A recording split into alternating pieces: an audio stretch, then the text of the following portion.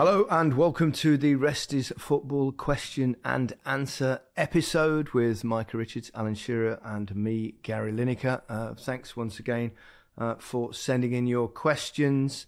Um, they're much appreciated. Um, they're all coming in on the newsletter at present, and um, we've got some um, beauties again uh, this week. Uh, we'll endeavour to answer as many as we possibly can. Uh, first question Will McAvoy I keep seeing Joleon Lescott on more and more punditry and think he's really impressive. Micah, you played with him. What's he like as a bloke? And you must know what really happened with his pocket tweeting. I, I, assume he's talking about the incident um, a few years ago. Didn't he put out a tweet of a kind of flash motor car after you got hammered when you were at Aston Villa together? I remember that. Oh my god! What I mean? Okay, let me let me uh, take you back all the way back. So, in the season, we're having a, a very tough time. We started with Tim Sherwood, was at Aston Villa, and then we basically changed manager. We got Rémi Garde, and the team wasn't good enough, and we was getting pretty much battered every week when there was reading out the names on the tannoy before the game, like it would go number one, Brad Guzan, boo. Joleon Lescott, boo. Micah Richards, but there's booing all the players. So we're going out onto the pitch and we're thinking, oh my God, we're playing at home, but it's like we're playing away. It was oh incredible. oh and some of it was justified. I'm not going to lie because we were tedious that season. So we play Liverpool and we get absolutely spanked. 6 0. Oh. 6 0. I think I was at fault for about three of those goals. well, at least you weren't the one doing the tweet. so, anyway, me and Joleon travel. We was in Manchester. We'd stay in uh, Birmingham sometimes and we'd travel back to Manchester together where we was both living. And that tweet, I was actually in the car you were with him when Joleon sent that tweet. No. And the thing is about it, he was actually telling the truth about the tweet. How he described it was something ridiculous. I think it was something like car was totally accidentally no the picture of the car was totally accidental. It happened whilst driving and my phone was in my pocket. Mm-hmm. so basically if you're reading that it's he sent it from his pocket and he didn't know the tweet went out. But do you remember twitter back in the day? So you remember the last picture in your your photos? If you sort of would just go on Twitter and press a button, that picture would be on like like you're about to send a tweet. It would be your first tweet. And how do you accidentally do that? As he's basically, it must have been. it's ridiculous. It must have been ready to send, and he's put it in his pocket, and he's accidentally sent the tweet. So now I'm going to explain what the, the, the, tweet was about. So Joleon mm. Lescott had a, a car company and he used to give us all basically cars for good prices, like lease deals. And in the picture was uh, a, um, a car. It was a S63 coupe, all singing and dancing, top of the range. And he was offering them to, to the lads. And that's a picture that went out public to everything. So you're saying to us it was genuine it, it, was genuine. So yeah. you know what it's like after a football game. You know when you've had a a bad time, you're looking at the papers, who's writing what and who's tweeting. And I seen Joleon Lescott tweet uh, like trending. And you're with him in the car. And I'm with him in the car. He's trending, but I'm like, all right, I was probably worse than Joleon today. Why is he getting all the flack from the game? I go on to Twitter and I say to Joleon, you've just tweeted the card that you're supposed to send to the players group on Twitter after just no losing 6 0 to Liverpool. So then you've got all the Villa fans saying, oh, This is an absolute God. disgrace. Look at him, he doesn't care about him. Oh, he, he's God. sending his, his flashy motor and he doesn't care about the club. So I said to Joleon, Joleon, just say someone's hacked your account, please. Yeah, the usual excuse. Yeah. Just, just say, and he's getting calls left, right, and centre. His mum's ringing in, his brother's ringing him, oh, He- and and he's like, Jolie's like to me, no, I'm just gonna tell the truth. But I'm saying, how are you gonna tell the truth? He said, I'm just gonna say I accidentally sent it from my pocket. So I said to Joleon, just think about what you're saying to me and how that's gonna play out. And he goes, no, anyway, it'll be fine, it'll be fine. We get the club ringing us. we get the manager ringing us. Oh, dear. Everybody, we, back then as well, I think Stan Collymore was on Talk Sport and he used to abuse us left, right, and centre. And you know, the legend Paul McGrath, he was lumping in as well. So he got all the Villa fans and whatnot. But the, the whole thing about it, it was actually being genuine. It was a genuine mistake. And I was in the car with him. And basically, it was an, an accident. He didn't mean to do that at all. You should have been absolutely delighted because he took all the shit away from you because of your crap performance. But the thing is, though, there's a side of me that was gutted. But there's a side of me that was so happy. I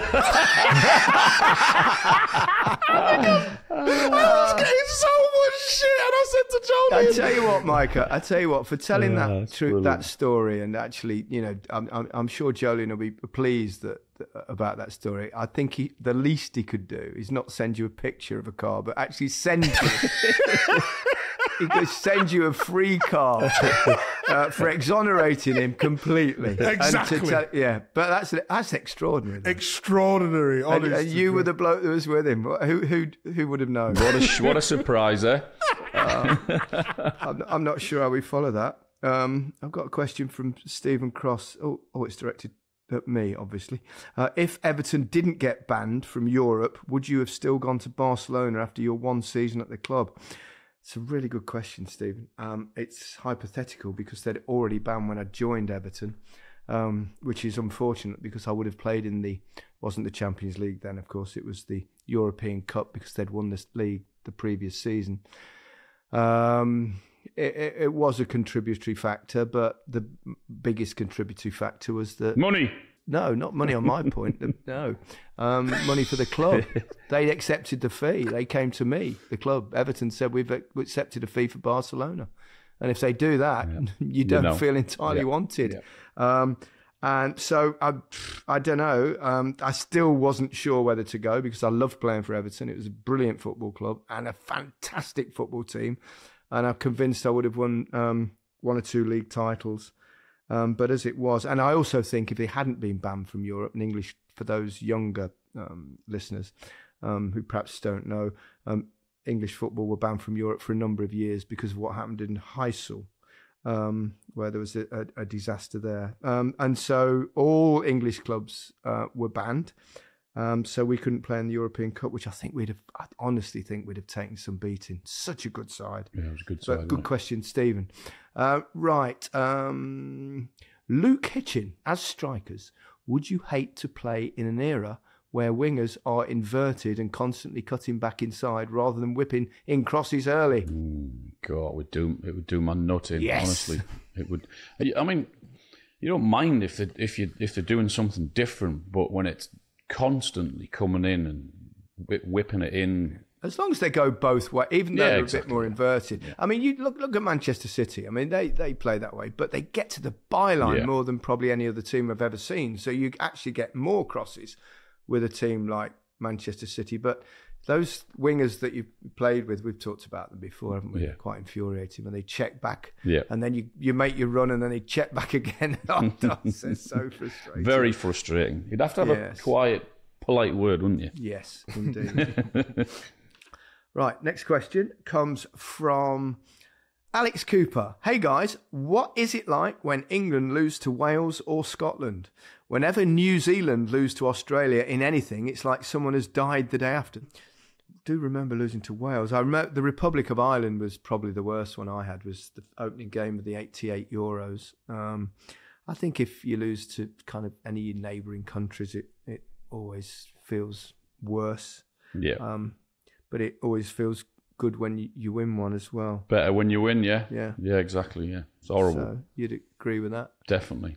How many England caps did you get, Micah? Only 13, never played against Wales, never played against Scotland. No, didn't play in any ho- home nations or even Ireland. No. No. Uh, played with them in um, the Olympics, but no. Did you play in the Olympics, Micah? I've never known that. Funny you should say that, uh, Micah, because Will Poyser asks, with the Olympics coming up, what was Micah's experience of playing at London in 2012 like? Also, if there was a Team GB football team this year, uh, who would you all pick as your starting 11? Well, there isn't a Team GB in this one, is there? So um, we will save ourselves some thinking time. And instead, Micah, your experiences of um, the London Olympics and especially, I think, the Olympic Village. The rest is after hours. I don't think it's for a football podcast. this. I know. I think I think it is. It's it's a foot it's a football tournament within the Olympics, and you were part of it. Oh my Tell us about the football side, and then tell us about the extracurricular duties. No, so the football side was really good. I got to play with Ryan Giggs. Uh, I think it was me, Ryan Giggs, and Craig Bellamy, who were the over 23s. Stuart Pearce in charge. Stuart Pearce was the gaffer, was always going to take big meeks. He loved me and I loved him. What a guy. Uh, the football side of things, we had a really good team. Um, Daniel Sturridge went. We were supposed to get Gareth Bale, but he didn't end up coming. We had Joe Allen, who played, was excellent um, back then as well. We had Neil Taylor, who was who was Welsh, really in good form back then. He was at Swansea.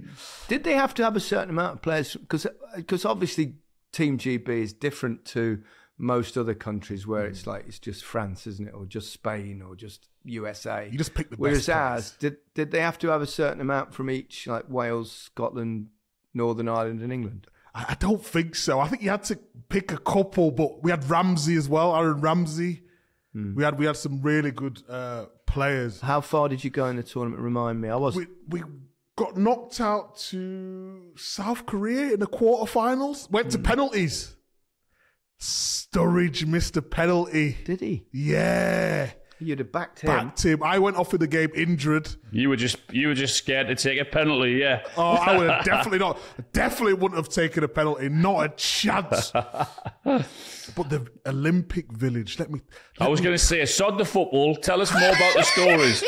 Yeah. No, there, there were a lot of rumours about that. It was a lot of fun and there was partying and there was with the athletes and all this stuff. Is that is that real? parties. It's a party of all parties.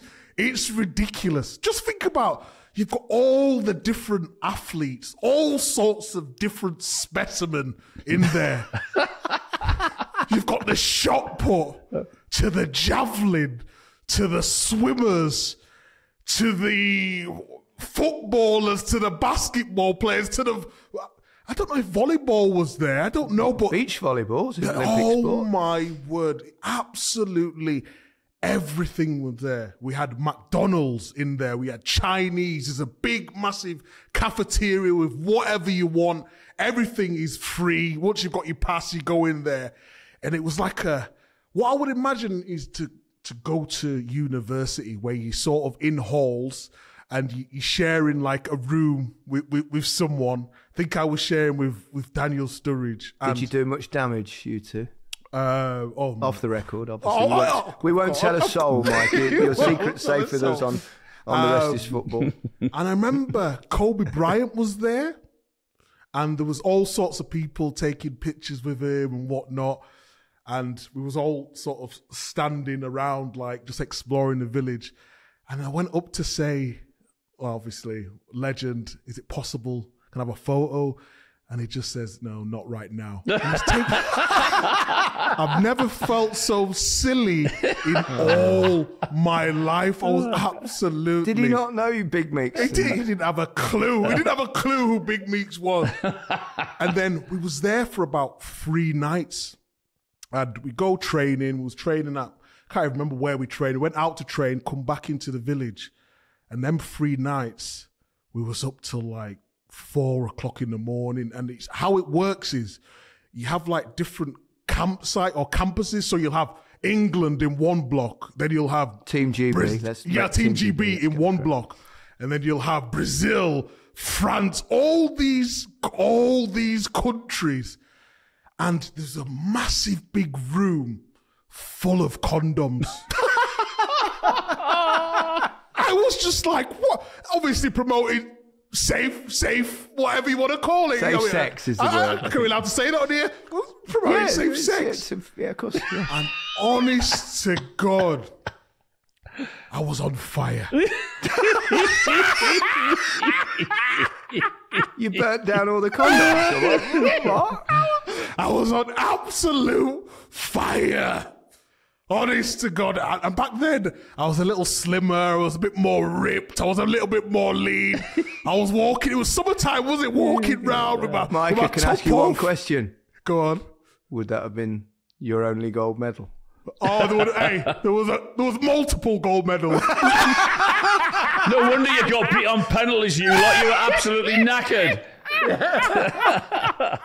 One of the best times of my life. Honestly, it was incredible. And I know it's all tongue in cheek, but it was amazing. We're not beating that story. Brilliant. Um, got a question from uh, Christopher Brown from Sydney. Hope it's not about the Sydney Olympics. You weren't there, were you, as well, Micah? Uh, talk us through a typical day, week for a Premier League player. How much training? Do they cook their own meals at home or have nutritionists uh, managing diets, nights off, club sponsors and charity duties, etc.? What is life like in the bubble? Good question. Micah, you can probably remember it best. a day in the life of uh, a Premier League footballer, I'd say. I, you normally get up about eight o'clock. Um, I was living in Manchester at the time, a place called Hale, and it was only 15 minutes from the training ground. So driving, you do what you call pre-activation. So pre-activation is basically getting your muscles warm to go out and train. So that could be stretching, it could be some sort of physio, massage, or some drills to get your legs going before you go out. And we tend to only train for maximum one hour 15. Come back in, get your massage, um, go through some tactics. So say if we're playing Man United at the at the weekend and I knew I was up against Ronaldo, I would basically look Shit at his- yourself. yeah, yeah, basically. yeah. Look, look at what he wants to do from the left, because he could play right and left hand side. See how many times he would fake in terms of before he put in a cross, or would he dribble? Who, what would say someone like Patrice Evra be doing on the overlap? Who I would be playing with on that side to sort of negate that, and who would push forward, when we would drop off, when we would try and attack there. Because the good thing about playing against someone like Ronaldo, you know he's going to do all the great things going forward, but he would leave gaps defensively. So if if we could try counter uh, that in any way, and then go home and just literally sit at home and do absolutely nothing. I didn't cook. I cleaned and I You would, eat, basically you would eat, eat at the training ground though for lunch, wouldn't you? yeah, sometimes I would eat at training, but sometimes I would just go home and order Nando's, go straight to Nando's, get some chicken, have a little bit of sleep, and then go go to the cinemas. That's what I would do. What about you guys? It's, ch- it's changed a lot, I think, since uh, we'd basically turn up, you go out, run around a bit, play a five-a-side, do a bit of shooting, have a shower, go home. And that's it. Yeah, We always uh, we always used to eat after training and uh, had lunch after training. Us, we all had to eat together, and we couldn't leave until the manager had finished. And when Sir Bobby, Sir Bobby was always he was always late in. He took forever eating his dinner, and we were all sat. We in the end banging our knives and forks like to, to, waiting for him to say we could uh, we could we could all go. So we always had lunch after training. he used to have some extraordinarily long Yeah, team meetings, yeah. didn't he? used to, we used to call him Mogadon sometimes because he'd go on a bit. Yeah. I mean, we all love Bobby. Absolutely. And I, I, I may have said this before um, in the past, but we were in the World Cup in '86 in, in, in Mexico, and we, you know, his team meetings were, let's say, very long, generally, and we we were about to play Poland in the third game. We had to win to have any chance of going through. And and he had the clipboard. He always had his clipboard up. And we thought, right, me team meeting like in the afternoon before we travel to the game. so he puts the cl- just doesn't bother with the clipboard. He just stands up. He said, "Boys," he said, "I can go on." He said, "I can give you all the permutations of possible results and this and that and the other. If they beat them, if they beat them, but we don't need that today because I trust you. You're going to do it. Just get out there. All we need to do is win this game, and I know we'll win this game." And he and he went, and that's it. And we thought, "Wow!" And we're goosebumps up, and we're all ready. And we're just about to jump out the chair, and he went. But if anyone's interested, here are those permutations. He turned the sheet over and he spent the next 45 minutes going through every possible result. Absolutely brilliant. Um, so, yeah, things have, have, changed a little bit. It's, it's, it's funny because talking about cooking there, because Ray asks, it sounds like Gary hosts and cooks often for Alan and Micah. Uh, what culinary delight would they both prepare for me? Beans on toast. Chicken and rice. I like chicken and rice beats beans. Actually, I, I, like both of those things. It's not too bad. Yeah, I, am not a great. I'm not a great cook. It, it sounds like it sounds like that. Alan. Oh, I mean, you open a tin of beans and put, put bread in the toaster. I wish. Uh, I wish I could. I mean, you're you're you're bloody brilliant at it, aren't you? Uh, you're a you're a you're a fine host. You are you with your wine and your food, and it's bloody lovely. I would actually, I would, uh, I would love to uh, to be as good as what you what you are at it. Did um did I tell you the story about Stephen Ireland when he invited us round to to to, to cook for a couple of the lads? I don't think you have, Micah. So basically, before I used to live in Hale, I used to live in a place called Grappenhall Heys, which is Warrington side. So um, I moved there when I moved from Diggs. It was my first house. Absolutely loved it. Stephen Ireland was there first, so it was like a complex, and we lived sort of, I don't know, 50 yards away from each other. And he invited a couple of lads over uh, f- for dinner. So I'm thinking to myself, Stephen Ireland can't cook. There's no chance he can cook. So he says, No worry, I've prepared it all. I've gone. We're going to have chicken. We're going to have chips. I'm going to do a little bit of rice, some coleslaw and some, uh, we'll do some corn on the cobs as well. And I'm thinking, fair play, he's making an effort for the lads. That sounds like Nando's that you said before. this is so in, in, in, my head, in my head. Some something is because so where we used to live in Grappenhall Heys, Nando's was ten minutes away in Stockton Heath. so I'm I'm I'm going in there, and I, the things that he's listing he sort of just thinking, well, he's not just gonna go get his Nando's, is he? So anyway, we go down and he sets the table. It's all fancy, beautiful preparation. It was prepped like yours, brilliantly. We sit down. He brings out a full chicken, loads of chips, rice, and corn on the cob. So I was, oh, Steve, did you cook this? And he goes, yeah, um, I, have done it. Been doing it for a while now. I've done it for my family. And, but I'm a chicken connoisseur. I am a connoisseur when it comes to chicken. You could give me any chicken. I could tell you exactly where it's from. What, the actual chicken? the chicken. So any of the shops, if you go to KFC, I know oh, what it right. is. If yeah, you go okay. to um, Nando's, I know what it is. Yeah. Wh- wh- whatever chicken, if even like places like Kansas or cot- uh, Chicken Cottage, I know exactly what it is. so I've took my first bite and I'm thinking, this is Nando's. like, I, I, and I don't want to disrespect him, but I looked, I looked to my right, and I think it was one of the players. is sort of like smiling at me, and I'm thinking, are you thinking what I'm thinking? but we don't want to be disrespectful to him. So anyway, we do that. We, we, we finish up the food. We eat it. It was lovely. Did he did he have the spices, the medium spice or the? he had all the fucking spices as well. he take them out of the packet. He's taking them out of the packet. the cheek, the, the, the, cheek of it as well. He took the chicken out of the oven like he just prepared. Brilliant. I, I did. I didn't have uh, the courage to ask him about it till about five years later. And I said, Stevie, come on, let's be honest now. D- did you cook that? He said, Did I fuck it was from Dad? Oh dear. Fantastic. Fantastic. You seem like a good lad, Stephen. yeah, he was a good Yeah. lad. He really was. Yeah. He was Yeah. really good. Good player Right. as well. Last question, and it's for Alan. And I, I, I was. This is a really interesting question because um, it's something I've always wondered as well. Question for Alan: During France '98, the England squad tried to get as many song titles in when speaking to the press.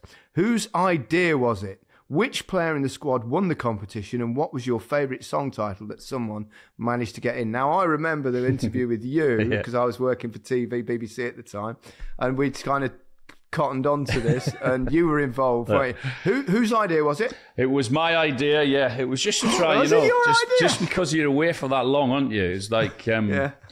we, we just thought, come on, we'll just see how see how long we can get away with it for. So what, as as you know, when you're in the hotel um, Yeah. in tournaments, you've got a media room where you do all the interviews, but next to the media room was the, actually the players' room. So you, so when you're in there and you're doing an interview, and obviously all the players and coaches knew that whenever anyone did an interview, you had to get a song title in. And of course, you didn't you didn't tell anyone. You just you just sort of kept it to yourself. And of course, once you got the song title in, and, and people, you could hear the big cheer going up next door in the uh, in the players' room. So after a good result, I'm thinking, okay, how am I going to get this this uh, these song titles? And if you got one in, then you get. If you got another one in, then you get another big cheer and what have you. So it was a competition not only to get one in, just to see how many you can uh, you can get in. You got a load in in one, didn't you? Some we had a good result, and the, the they s- sort of said to us, uh, "What did you do last night?" And I said, "Well, it's a really important game. I mean, it's not as if we were out all night long, like dancing on the ceiling, and I could hear the roar going up like next next door. It was like, oh god, it was such a laugh. Yeah, The, it was the brilliant. things you do to amuse I know, yeah, yeah. those- It was the big trips. cheer, you know, from the rest of the players. You know, when you got the song in, you could hear the cheers next door in the in the meeting room. How many did you get in? In the most?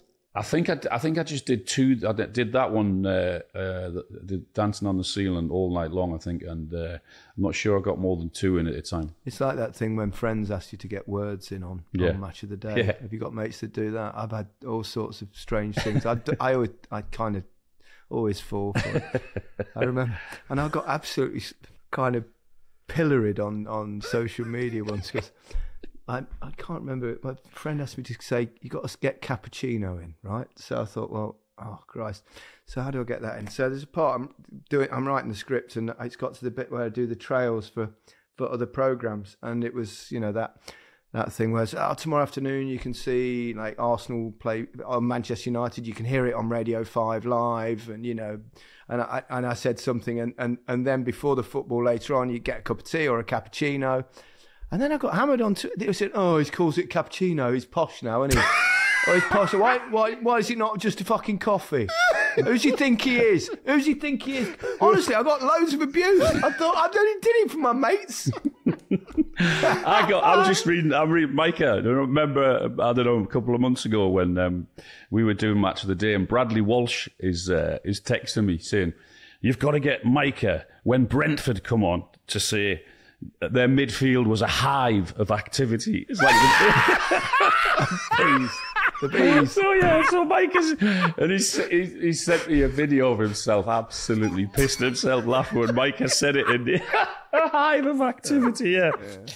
And then he, and then he says, "Can you say a hive of activity?" And then uh, ask him if you say they stung Burnley. It's like, oh, you know what I mean? Mike is getting it in. Like, oh. Bradley Walsh's puns are worse than Oh, mine. I know, yeah. he's, he's, he's, he's a proper presenter and a comedian. Uh, he's brilliant. brilliant. Bradley, we love Bradley. Um, well, that's it for our, our question answer episode. Thanks once again for sending all your uh, questions in, uh, and your kind words are always appreciated. Thank you so much. Uh, that's it uh, for this episode. Uh, goodbye from me. Goodbye from me. Goodbye from me.